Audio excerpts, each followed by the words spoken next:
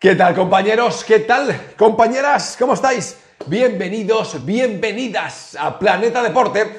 Soy Jordi Gil y ya sabéis que estoy encantadísimo de estar aquí con vosotros, con vosotras, disfrutando de la magia del deporte. Vámonos con el Real Madrid porque me estáis preguntando si, bueno, hasta la fecha los fichajes que hizo Florentino Pérez en verano están rindiendo al nivel esperado, es decir, si están cumpliendo con las expectativas generadas. ¿Qué es lo que he hecho? He cogido el listado de los jugadores, más o menos, ¡pam! Eh, y estoy evaluando costes y rendimientos. Así que vamos a ello y si tenéis comentarios, espero que los hagáis. Justo aquí debajo, eh, ya sabéis, aquí debajo, en YouTube, en Facebook, en Instagram, donde sea, pero siempre debajo. Venga, eh, fichajes, Mendy, Militao, Rodrigo Goes, Luka Jovic, Eden Hazard y Areola.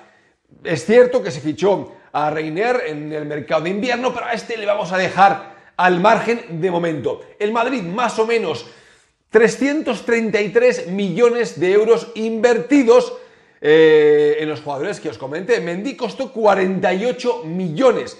Militao 50, Rodrigo Goes 45, Jovic 60, Hazard 100. Eh, Areola entró en la, operación de eh, Keylor Navas, ya sabéis, con el PSG, el intercambio y compensación económica, y Reiner Jesús ha costado unos 30 millones de euros.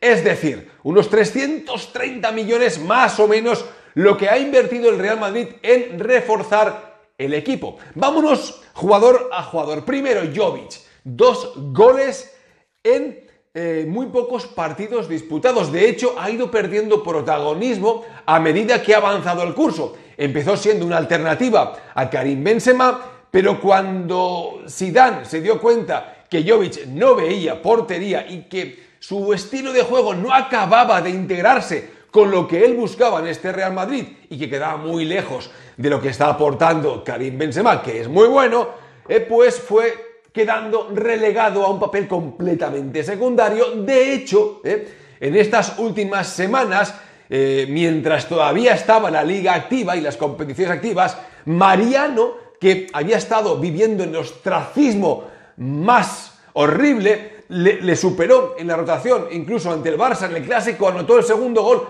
nada más salir. A Mariano, por cierto, le está yendo francamente mal este parón, porque cuando se estaba ganando la confianza de Sidán, algo que no parecía posible, pues llegó el coronavirus y paró la competición. Veremos a ver si cuando se reinicia, si es que se reinicia, Mariano sigue estando por delante de Jovic en la rotación o incluso en las convocatorias de Sidán. Así que Jovic, de momento, esos 60 millones de euros invertidos en él no los ha justificado, pero también os digo que es prematuro. Es un jugador que necesita su tiempo de adaptación, que ha demostrado que tiene gol, lo ha demostrado con creces, por eso le fichó el Real Madrid al precio que le fichó y por eso media Europa estaba interesada en hacerse con sus servicios, así que yo diría que de momento no lo ha justificado, pero paciencia, paciencia. Vámonos con Militao.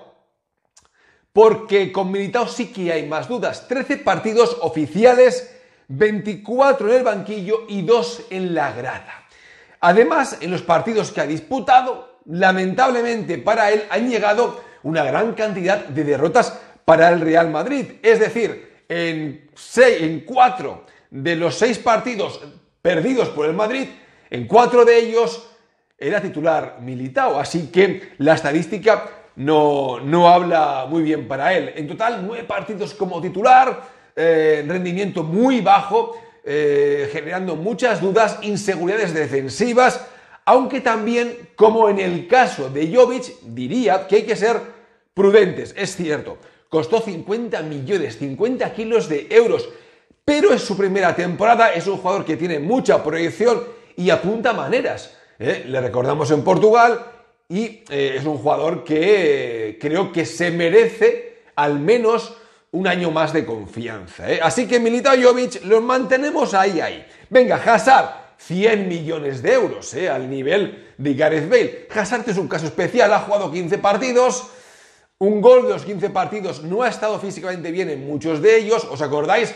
a principio de temporada que estaba pues con sobrepeso, que le costó muchísimo coger la forma física, pero al margen del tema del, eh, sobrepeso, eh, ha padecido tres lesiones. La última grave o relativamente grave en el peroné fue operado el 5 de marzo. En principio se iba a perder lo que resta de temporada. Ahora, con este parón liguero y de las competiciones de fútbol y de todos los deportes, veremos a ver qué sucede porque si se retrasa la competición podría regresar Eden Hazard. Es decir, no podemos hacer una valoración real del belga, aunque sí que os puedo eh, dar mi opinión concreta de los últimos partidos en los que estuvo sano. Me encantó, me encantó. Fue líder, fue el jugador principal, asumió el, protagonismo, eh, se integró en la dinámica de juego, combinaciones, llegadas, vertical, profundo, unos contra unos, me encantó. Eh, mala suerte que se lesionó, eso es cierto.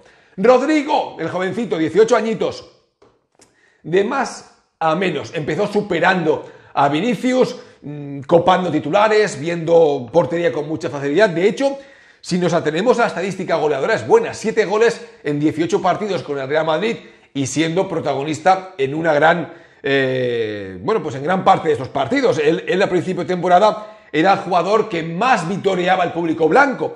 Gran rendimiento de Rodrigo. Lo que sucede es que en los últimos partidos, tengo aquí el dato, pues mm, no ha sido convocado en 7 de las últimas eh, de los últimos 10 partidos. Y esto quiere decir que Zidane no es que haya perdido la confianza en Rodrigo Goes, simplemente es que llegados a este punto ha visto que hay otros jugadores que están más preparados para rendir bajo presión, por ejemplo, Vinicius, y estoy de acuerdo con Zidane, como he dicho en tantos y tantos y tantos vídeos. Creo que Vinicius es un jugador que tiene potencial de estrella si afina puntería y su capacidad de decisión es un poquito más acertada. Pero bueno, poco a poco y Vinicius no es protagonista de este vídeo.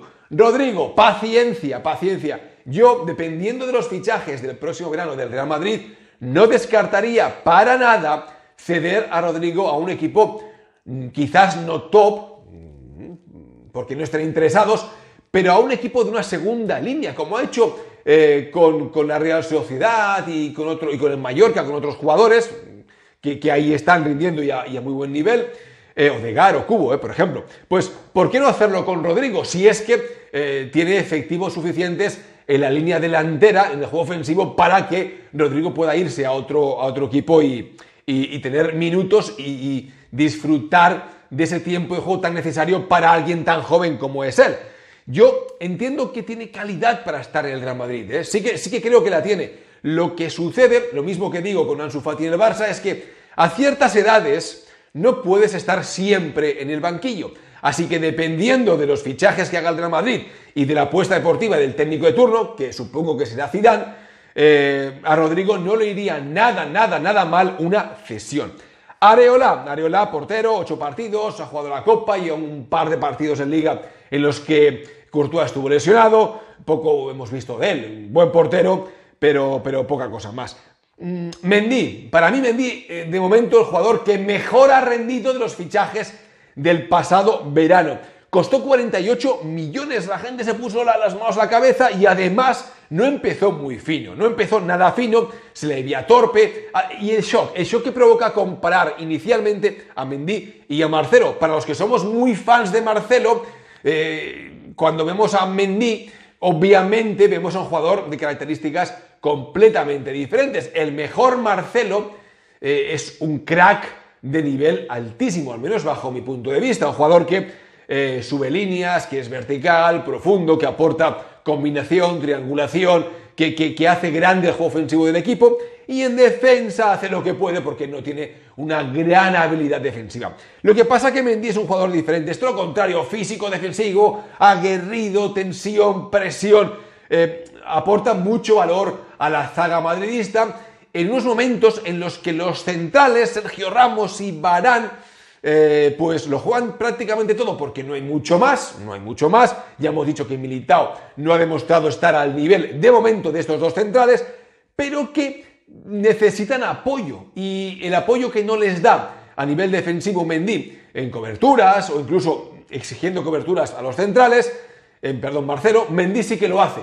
Mendy eh, está siempre presente, guarda la posición, presiona arriba, hace coberturas, es rapidísimo, es un jugador muy físico y obviamente 25 partidos jugados en liga, creciendo por 19 de Marcelo, es decir, ya ha superado en esa competencia directa que tiene con el brasileño, ya le ha superado, así que de menos a más y a día de hoy digamos que Mendy es el jugador que mejor rendimiento está ofreciendo al Real Madrid. En global y en general, eh, valoración de estos fichajes. Mendy me parece muy interesante. En el caso de Militao y Jovic hay que esperar un año más. Rodrigo creo que es un jugador con, que apunta maneras muy interesantes, pero que habrá que valorar si sería interesante una cesión. ¿eh? Ya en verano hablaremos de esto. Hazard, fantástico, pero las lesiones le tienen apartado de la actividad. Areola, bueno, pues Areola es el portero suplente, tampoco vamos a exigirle mucho más. Además, Courtois está a un nivel altísimo en esta segunda fase de la temporada. Y Reiner Jesús llegó hace poquito, está en el equipo B y supongo que cuentan con él de cara a los próximos años o a una cesión, ya veremos. Ya hablaremos de Reiner Jesús más adelante. Compañeros, compañeras, este vídeo larguísimo llega a su final, pero espero conocer vuestras opiniones aquí debajo. Gracias. Chao, hasta luego.